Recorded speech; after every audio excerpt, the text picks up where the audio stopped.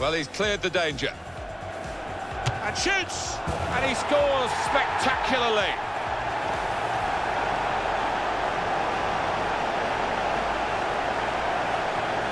Oh, the best shot he'll ever hit in his entire career. I'm sure of that. Top left.